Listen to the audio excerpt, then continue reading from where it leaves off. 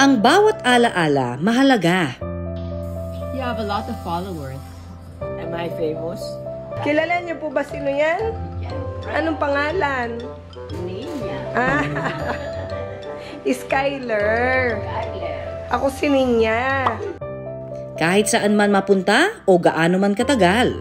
Saan tayo pupunta? Sa Amerika. Ha? So, bakit? Maghahanap ka ng ano? Ano? Wow. Kaya ba? Gaano man kahirap. Mas pa! Sasabihin mo iyo yan, iyo yan. Yan nasa loob ng bahay ko. Ganito, ganito, iyo. Naturing ang anak kita eh. Ganyan ang ginagawa mo sa akin. Gaano man kalungkot. scares me. Wala nga akong magawa eh. I'm no longer bright to begin with. Daanan man ng pagsubok. Gusto ko lagi sila nakikita. Mahal ko sila. Tanda na ako. Lang din talaga minsan pero laban lang tayo, di ba? Hanggat ano, hanggat kaya mo. Ako hanggat kaya ko din, laban lang. Kahit kalimutan niya kami, hindi namin siya nakakalimutan. Ang puso, hindi nakakalimot. Pero papaano ko ang mga alaala, bigla na lang maglahong parang bula. Ang bida sa vlogs ng content creator na si Ninya, ang kakulitan ng kanyang 83 taong gulang na ina. Ang iluluwa dyan, kinakain yan lahat, ha? Ang haba na ng buhok mo, oh.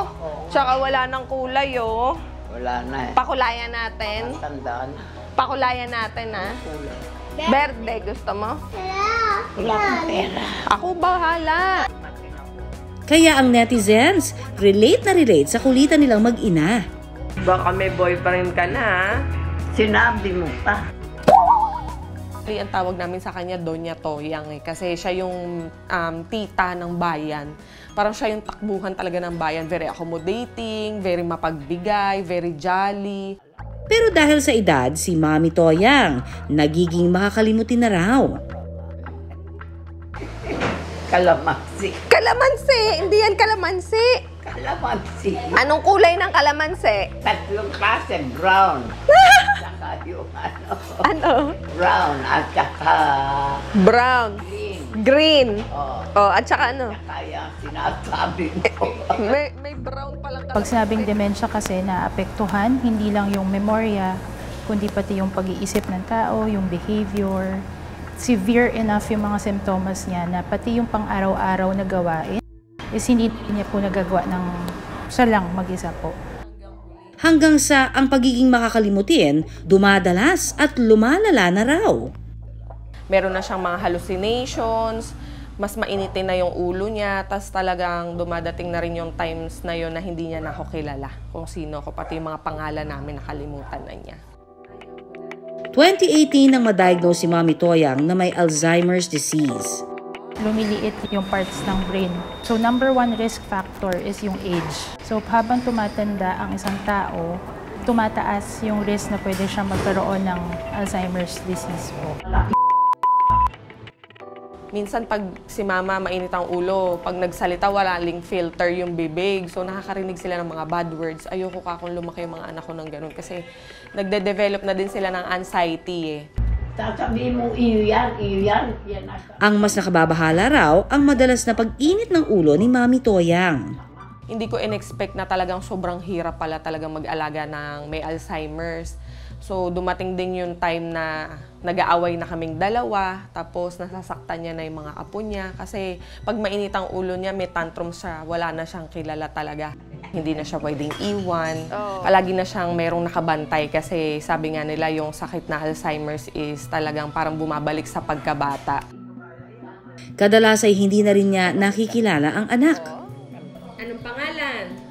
Ninya. Ako ang paboritong Pamangkin.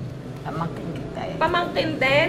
Kahit yung pangalan ng mga tao na usual naman niyang nakikita or kilala niya talaga, nakakalimutan na rin niya. So baka early sign ng dementia. 139 million na pasyente ng Alzheimer's disease sa taong 2050? Nako, tansya po yan ng World Health Organization. Hindi raw malabo ito dahil ngayon nga eh nasa halos 55 million na ang may Alzheimer's worldwide. Kaya, wag po tayo makalimot ha ng mga dapat gawin para maiwasan ito. Gaya halimbawa ng pagkain po ng mga masusustansya para ma-maintain ang ating blood pressure, cholesterol, and blood sugar levels. Nakatutulong din po ang pag-ehersisyo, pag-iwas sa mga bisyo gaya po ng alak at ng sigarilyo. At makakatulong din sa talas ng ating isip at makakaiwas pa sa pagkakaroon ng iba't ibang sakit. Kung talas ng isip ang pag-uusapan, may nangunguna raw dyan. I don't memorize. I just read. Tapos, I went to St. Joseph's for, ano, I was always first in class. And I went to St. Teresa's, I graduated magna cum laude. Galing, ano? Ang yabang, no?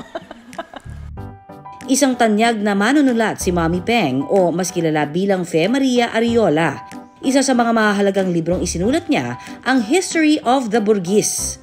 Akin ang galing yung Burgis eh, as, as, as, as a word. Burgis, for, parang yan ang Filipino ng bourgeoisie.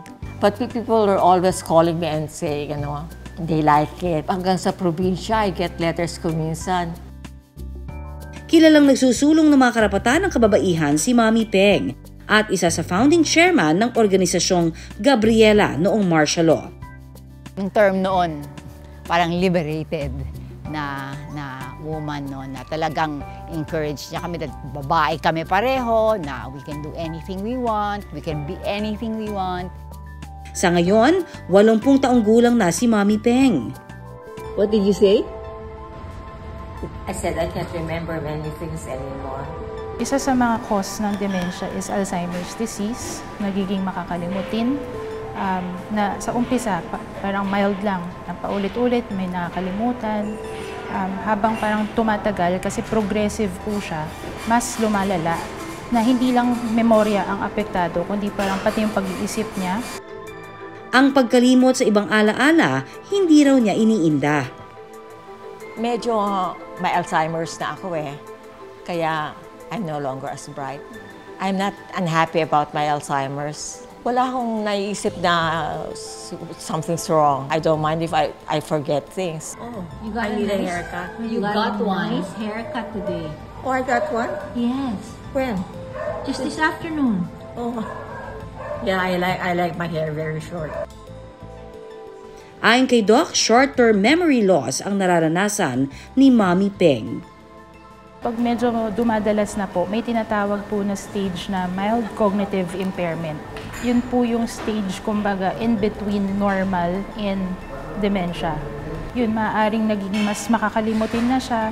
Dumadalas na nga po yung pagiging ah, matanungin, na paulit-ulit yung pagtatanong.